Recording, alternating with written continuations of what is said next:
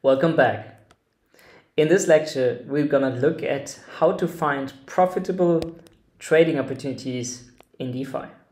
So you can think of DeFi as being this graph of financial products that's completely open. You can see everything. And hence, it, you basically need to find the optimal path along this graph of financial products, and you might discover profitable opportunities.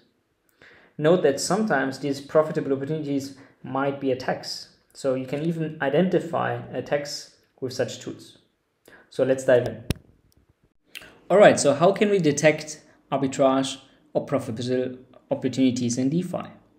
In this lecture, we'll be looking at mainly two methods. The first one is the Bellman-Ford algorithm, um, and the second one is the theorem solver, also um, typically referenced as an SMT solver in the literature. So the Bellman-Ford algorithm is uh, something that allows you to find negative cycles in a graph. Um, so it allows you to basically identify whether you can do an arbitrage trade, a circular arbitrage trade. Um, the beauty is it works among multiple markets, so multiple assets. So a market typically has two assets, um, and you can chain several markets as we would see in a, in a later slide. So this algorithm is really extensively used in traditional finance, and we show how you can actually use it in DeFi. The SMT solver, on the other hand, um, needs to encode the, the DeFi models in a particular model. So while the Bellman-Ford algorithm can be applied quite easily um, to to a DeFi graph, graph of mark, um, uh, uh, graph of markets.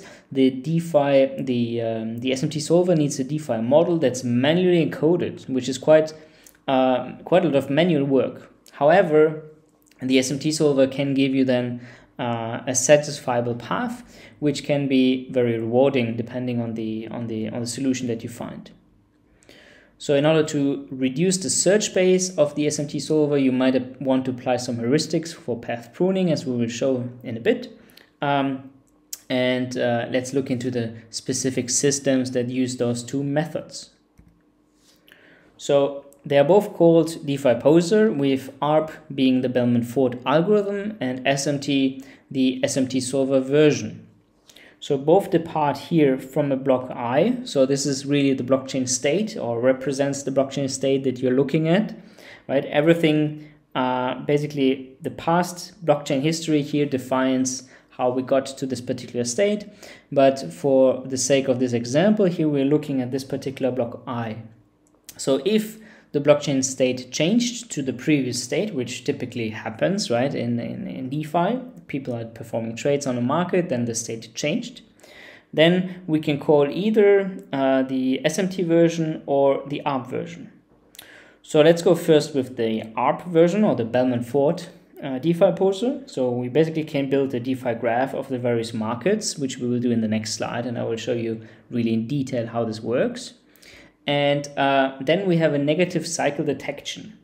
Right? This is what the Bellman-Ford algorithm can do. So the, the algorithm can tell you whether there is a negative cycle and there might be uh, there might be one or there might be not one. Sometimes you don't find any.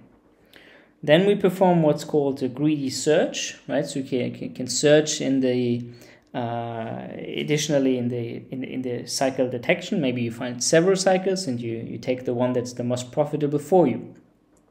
So we continue and repeat this, this process here. Um, so the SMT solver, on the other hand, is a little bit more complex. It involves like several different steps, but in the end, it, it reaches the same the same goal. So in the first place, we have to perform a manual, manual modeling of the DeFi protocols. So, for example, we take Uniswap and we write a model, a new model that represents how Uniswap works. We do this with Curve and with any other DeFi protocol that we want to capture.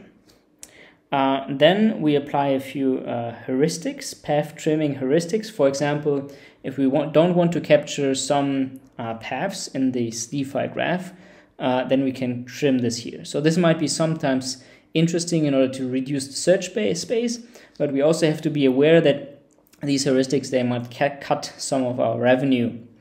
Uh, and unfortunately, trimming heuristics is necessary because often the theorem provers are quite limited in their ability to solve um, to solve problems. So depending on the SMT solver, obviously, um, but um, that's what we found to be to be useful here. And then you can basically plug this all in in the theorem prover and let the theorem prover run. So there are various theorem provers out there, like Z3 is a, is a, potential one, Souffle is another one. So you can you can look into those yourself if you're interested.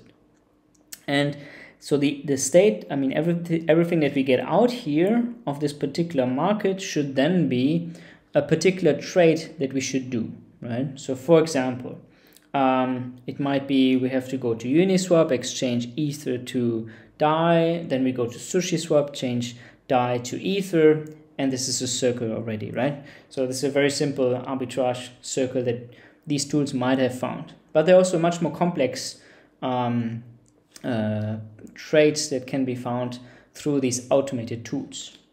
So you really get like this uh, strategy or the transaction. And what you can do before you broadcast this transaction you can execute it locally. So you perform a validation through concrete execution. So concrete execution basically means that you're executing a particular transaction locally on a particular block height right? And you don't broadcast it yet. And if if you you find it's actually profitable right? Then you might broadcast that transaction and you will try to mine this transaction at the top of the next block or at some some position in the next block. Uh, I'm, I'm referring here to the top of the next block because you don't want others to front run your transaction and to take away the opportunities that you identified, obviously. Now, um, this is this is basically the, the entire model, right, and the entire uh, state here. As far as I'm aware, this is the first tool that does this for you in an automated state in real time. So we, we can actually, if you have here a block interval time of like whatever, about 12 seconds, for example, in Ethereum, then DeFi Poser is actually able to, to give you a solution uh, rather quickly in a few seconds. And you shouldn't wait too long. You should probably not wait six seconds even uh, in, before you broadcast a, a transaction because the transaction also needs to broad uh, needs to propagate in the network, needs to reach miners, etc. So, um, but yeah, we, we think that it's really like a first step towards finding profitable opportunities in a DeFi graph based on a blockchain state and a DeFi state, right? Because some applications might be sometimes vulnerable depending on their state. Um, so these are not traditional vulnerabilities, but rather state dependent uh, issues that might arise. And um, so we certainly need more such tools that allow us to reason about the security of of the um, composable DeFi protocols. Very well. Now let's look at the DeFi graph, like a particular example at least of the DeFi graph. Here, for the sake of this example, we're looking at DeFi Poser ARP, so the Bellman Ford version of DeFi Poser. We have um, a blockchain state with four markets. Um, here we have the assets A and B, and here we have B and A, B and C, and C and A. And if you look at these markets, we can already see that uh, the red and the blue markets, they actually have both the same assets. Our objective is we have an input, which is here one element of asset A, and we would like to input this particular element and out get basically back out more, right? The, so we want to get out more than we put in initially. So this is what we basically visualize here with this particular example. Now, if you just look at this particular state, you already see, well, I mean, I could just go into the first market uh, where I can trade A to B, and then I go to the third market here where I can trade B back to A. And my objective is that I get I get something back uh, that's P1 times PA, right? Because these are the two prices on these two markets. And uh, the profitable condition for my trade is that P1 times P4 is superior to 1. If that's true, then I can perform a trade among these two markets. Now, we can also perform a trade across three markets. So we could go again into the red market at the very beginning, right? So we go here into A over B. Then we go to the second, to the yellow market here we swap B to C, and then we go to the green market here, where we finally swap C to A. So those two solutions that I just shown you are both uh, cyclic arbitrage, and they're both uh, possible in this particular market state configuration. Again, just like the example before, we have to make sure that the the uh, the sum uh, the the product here of the different prices is beyond one, right? Because we want the change to be uh, we want the exchange to be profitable, and as such, we have this profitable con condition that this is superior to one. Now, if we if we basically model this as a graph, right, then you can look at this really like here, like a like a traditional Bellman-Ford graph. Uh, in order to apply the Bellman-Ford algorithm, we need to find uh, I mean, the Bellman-Ford algorithm can find for you negative cycles, so it has a negative cycle detection mechanism. And for doing that, we need to translate it into this particular form uh, that's that's expressed here, right? Okay, so we basically do this conversion, right, from this, from the product of the prices superior to one to this particular sum, and uh, we then apply the Bellman-Ford Moore algorithm, which uh, has the following complexity. So the number of uh, nodes in the graph is n, and the number of edges in the graph is denoted as e. And so here this is a particular node. An edge in the graph is this particular edge, for example. So the complexity of this algorithm is O n square times e. So DeFi Poser SMT is the other solution that we discussed earlier, right? So here we can basically see that the uh, what we do is we have a model in the very first state, right? We want to create a model uh, that can be uh, that can be uh, represented that represents the DeFi actions and and uh, the, the basically the, the actions of a particular DeFi platform. So we formulate it in a model. So for example, you can take Uniswap, you can take Curve, and then you you really need to translate it. It's it's a trans it's a it's a it's a translation process from one language to, to the like from from a, for example Solidity language to to the symbolic model language uh, that these SMT solvers can can operate on. Then we perform a, a, path pruning process, right, where we can apply heuristics to reduce the search space. Uh, so it's important that the path must not include any loops, for instance, right? We don't want to, to cycle indefinitely, so we want to um, to, uh, to to find a, a, like a finite solution uh, and then we can we can input all this into an SMT solver. So the SMT solver has an object, objective constraint so that the final profit is greater than the target value. So for example, we can set a target value as being one ether. And then we can we can try to solve this and also perform optimization through binary search, for example, to find the optimal value. So the SMT solver will tell us whether there's a solution given that particular target value. And if there's no solution, obviously we need to decrease. For example, we can go to 0.5 ether, etc., uh, until we find a, a, a, a, close to optimal value uh, with this approach. So when we evaluate DeFi Poser, we can actually compare uh, the Bellman-Ford variant and the SMT variant quite objectively. So in this plot here, on the x-axis, you have the block number, which represents the time. So this is the, the time, uh, the, the blockchain time. Uh, so we evaluated this uh, from beginning of 2020 until May 2020. And in this particular example, you can see here the DeFi Poser ARP, right? This is this one here, is actually found uh, the, the highest revenue, right? So this is the cumulative revenue um, in, in ether as we express here on the plot.